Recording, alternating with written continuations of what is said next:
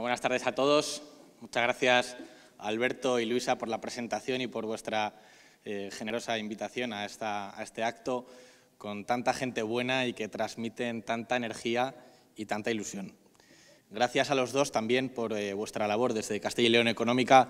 una publicación que lleva 25 años ya apostando por esta tierra y manifestando al mundo todas las virtudes que tenemos los castellanos y los leoneses. Gracias por permitirme estar en esta entrega de premios hoy aquí. Hoy los premiados son algunas de las mejores personas de la sociedad, personas que dan siempre lo mejor de sí mismas y que están eh, creando eh, riqueza y producción y empleo para todos los demás. Me gustaría daros la enhorabuena a todos en nombre de la Junta de Castilla y León. Recojo el guante que me han lanzado con el tema de los políticos y quiero desde aquí eh, confirmar mi compromiso de que nunca patrimonializaremos ningún éxito que es vuestro, porque sois vosotros los que os levantéis por la mañana, sois vosotros los que apostáis vuestro dinero, vuestro capital, vuestro esfuerzo para crear vuestras empresas, para dirigir a vuestros equipos. Sois vosotros los que creáis ese empleo y sois vosotros los que tenéis todo ese mérito. Yo me comprometo desde el puesto que me toca en que todo lo que esté en nuestra mano simplemente para no entorpecer vuestra actividad frenética y que eh, tanto éxito os está dando a, vosotros como a vuestros equipos, como a vuestros trabajadores. Quería destacar la relevancia de los sectores de actividad que han sido hoy aquí premiados. La automoción, también la industria auxiliar de la automoción, agroalimentación, distribución, innovación, robótica industrial, sector del vino o gestión de residuos, todos ellos sectores claves e imprescindibles para el tejido industrial de Castilla y León. Además, quería destacar cómo vemos convivencia entre distintos tipos de empresas. Hay pequeñas y medianas empresas con especial énfasis en la empresa familiar, que tanta importancia tiene en nuestra región, pero también multinacionales y empresas eh, de todo tipo. Quería destacar que todas son para nosotros importantes, todas merecen eh, reconocimiento y todas merecen la protección de las instituciones públicas. Me gustaría eh, empezar por el final, dando la enhorabuena al premiado de honor don Ángel Rodríguez Lagunilla, presidente de Ibeco de España y director, creo que era de Manufacturing, a nivel global. Es para todos los castellanos y leoneses un honor contar entre nuestros ciudadanos a personas como usted, que son ejemplo de liderazgo y de éxito empresarial. Gracias a sus equipos, gracias a su capacidad de dirección y gracias a su inteligencia. Comparto la emoción que ha transmitido usted eh, al mencionar a su familia, siempre tan importante en cada uno de nuestros éxitos que nunca son individuales, sino que son colectivos. Eh, quería destacar también que hay otros premiados del sector, como Eduardo eh, Salazar, de Grupo Andrés, y me gustaría decir aquí públicamente que todas las empresas del sector de la automoción, del sector auxiliar del automóvil, van a poder contar siempre con la protección y el auxilio de la Junta de Castilla y León frente a los ataques de un Gobierno que ha puesto a esta industria en el disparadero,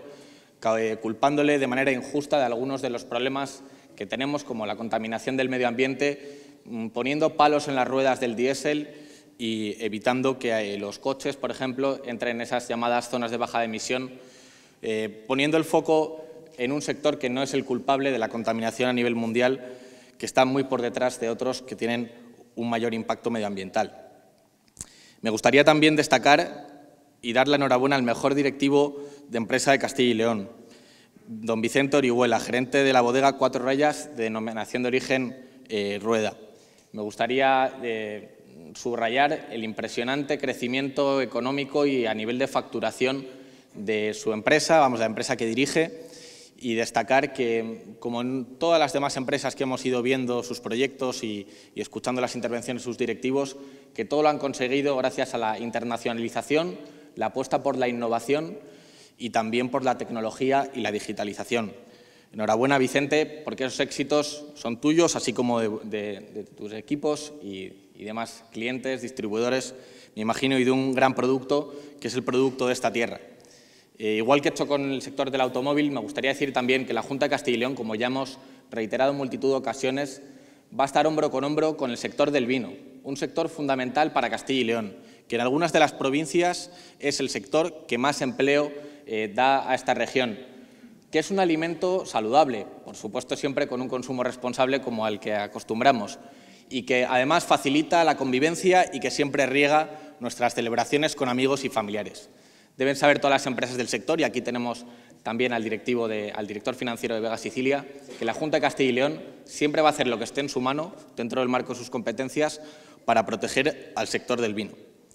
Me gustaría aprovechar que el señor Orihuela eh, se, apellida así, porque cuando estaba preparando esta intervención he recordado un poema de Miguel Hernández, que ya cité en una ocasión en un discurso, que es la elegía por Ramón Sigé, en la que Miguel Hernández decía, en Orihuela, su pueblo y el mío, se me ha muerto, aquí no ha muerto nadie, como del rayo Ramón Sigé, con quien tanto quería.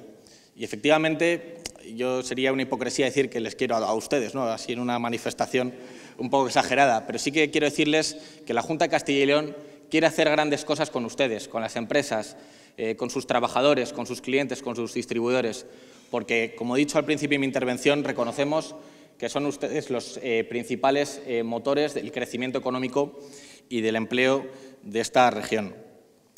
Me gustaría, además, si me lo permiten hacer esta excepción, también dar la enhorabuena especialmente a doña Arancha Rodríguez, directora de calidad de Innoporc de Segovia,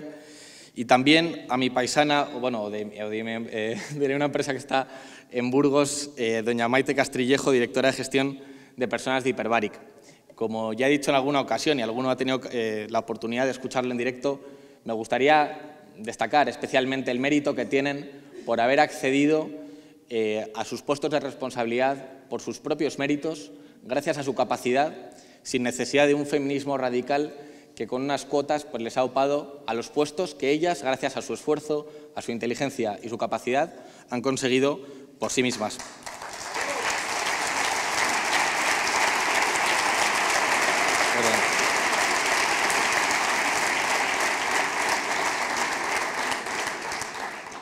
Si me permiten, ya que eh, ha tenido buena acogida esta afirmación, no, de verdad, me gustaría hacerla extensiva a todas las mujeres que hoy están aquí. Desde luego en Castilla y León, ninguna castellana, ninguna leonesa necesita a ninguna Irene Montero, a ningún feminismo radical, a ningún altavoz para conseguir sus propias metas profesionales.